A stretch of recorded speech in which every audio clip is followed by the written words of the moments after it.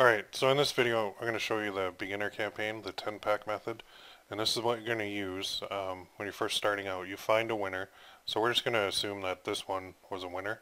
Uh, so we want to run a real campaign to it now. So we're going to actually use the exact same post we did in the, in the test because if it worked, why switch it up? So to do so, it's quite simple. Go to your campaign ads manager, create a campaign.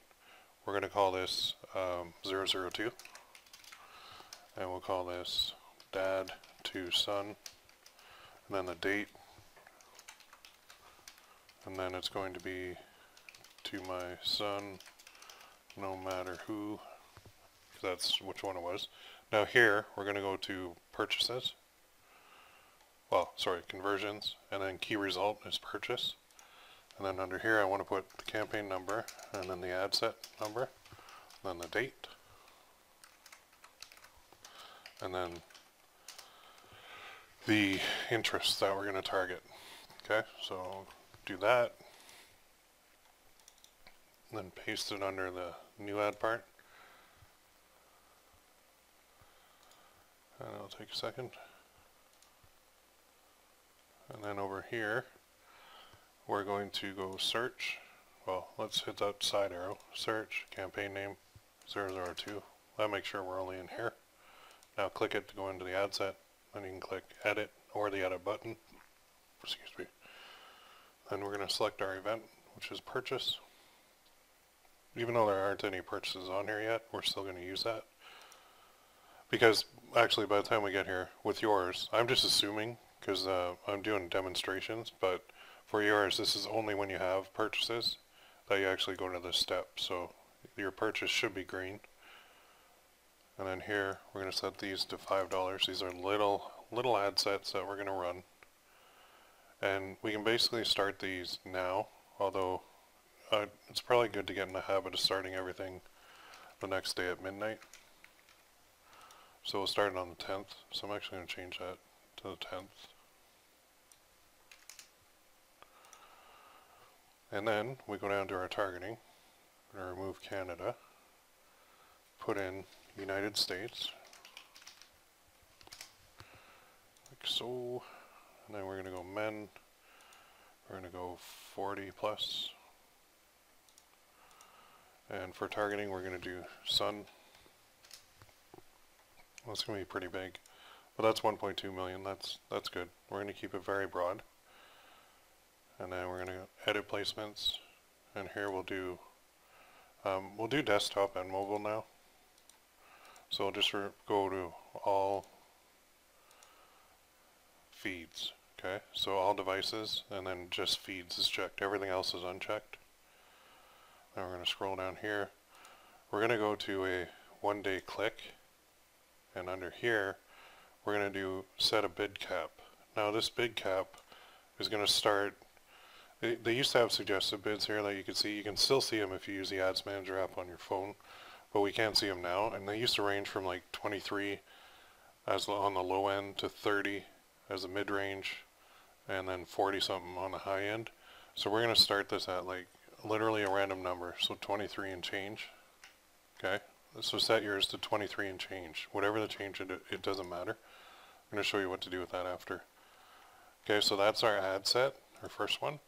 And now we need our ad, so I just click on it, and I'll be into the ad tab. Click edit. And now I'm going to select my page. So I want family time. Use existing post. I'm going to go grab this post ID. Copy. And then enter post ID. There we go. So that post is ready to go. So now what I need to do is go back to my ad sets and I need to do nine duplicates of this because it's a 10 pack.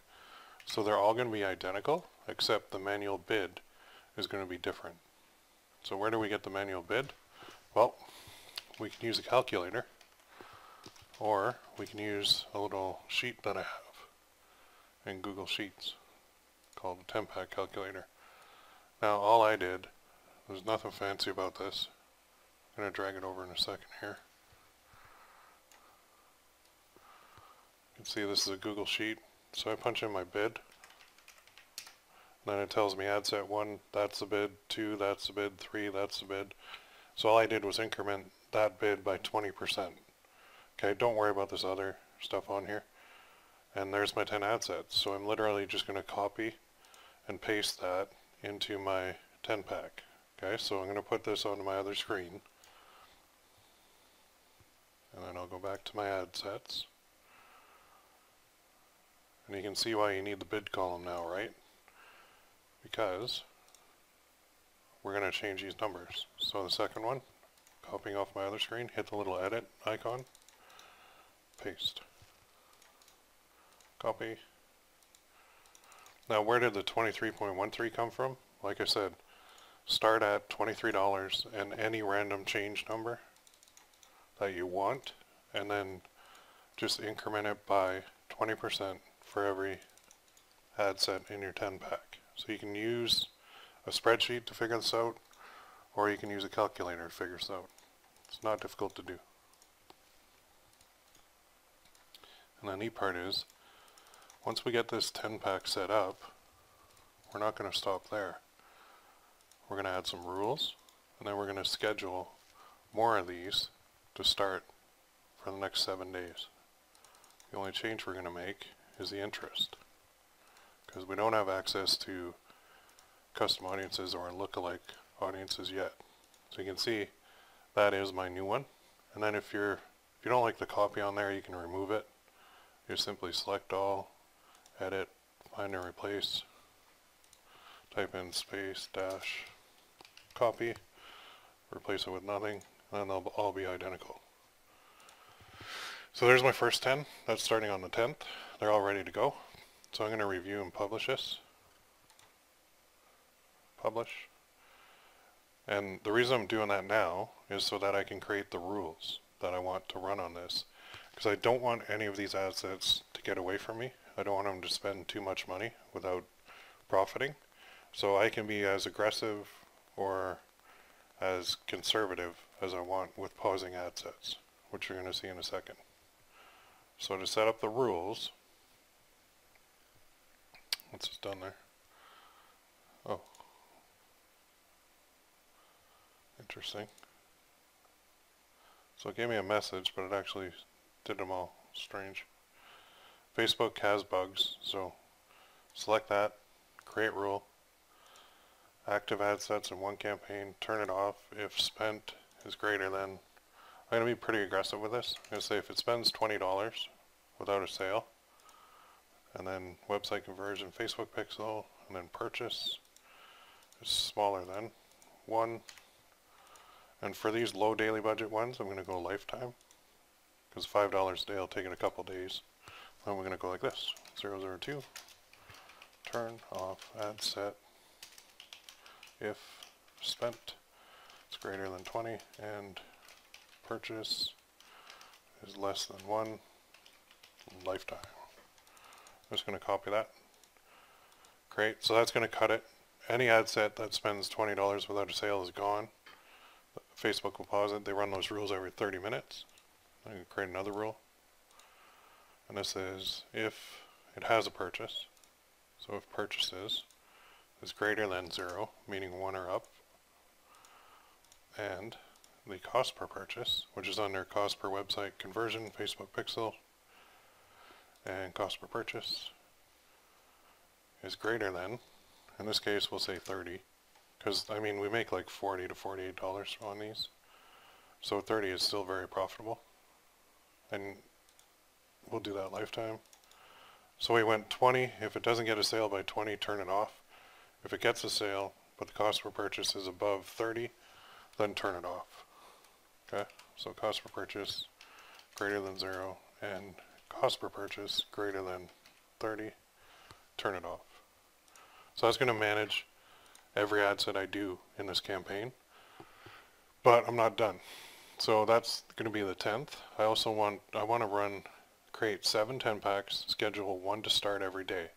So I'm going to create one to start on the 11th, and I'm, all I'm going to do is change the interest. Okay, so I'm going to show you how to do it. So go into your ad sets, select them all, click duplicate, one each, okay? I'll take a second. And then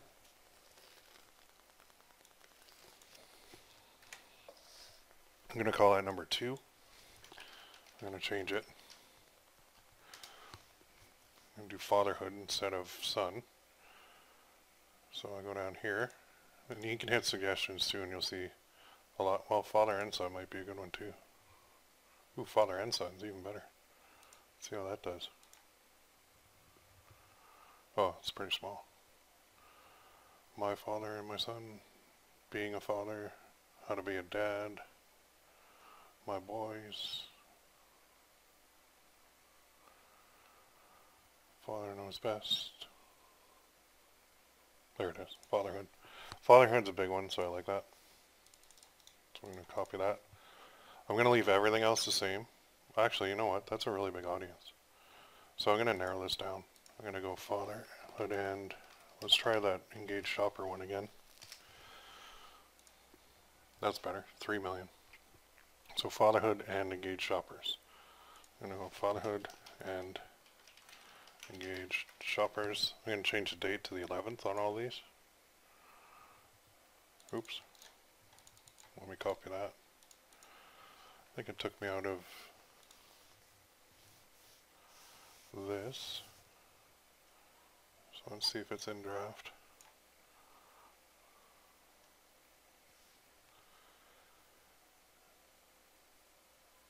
Again, another Facebook bug because it's showing 10 selected, but I can't see where they are. So I'm just going to assume they're there. And then change the date to the 11th at midnight. And then go into the ads. There we go. And now edit the ads to reflect the new one.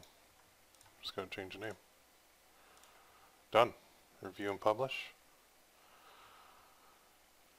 So now I've got 10 ad sets starting on the 10th, 10 ad sets starting on the 11th, and then I can repeat what I just did for the 12th, 13th, 14th, 15th, do them for seven days.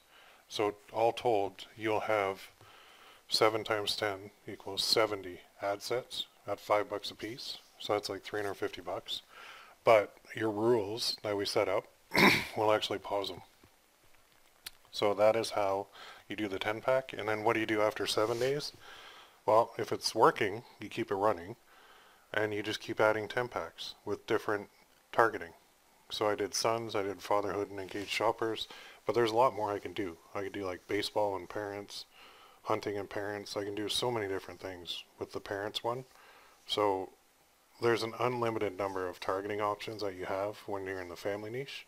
So now your job is to go ahead and repeat what I did for your niche and set up at least seven. So one to start tomorrow and then the day after that, day after that, day after that, all the way out seven days. Make sure you set up your rules. And uh, that's how we do our beginner campaign. Works very well. And once you set it up, it's pretty much going to run on its own because Facebook's going to pause things for you. So you'll end up with a lot of these ad sets will be paused, but the ones that are left over are going to be winners. They're going to be long-term winners too. Okay? Makes sense? If you have any questions, let me know.